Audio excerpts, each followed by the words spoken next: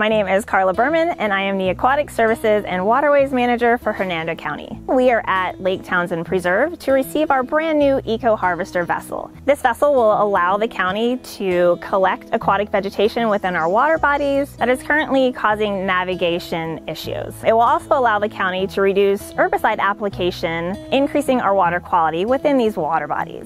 The county hopes to receive numerous years of use for this vessel, allowing us to keep our water bodies clean and clear. We hope you enjoy it as much as we do, and thank you so much.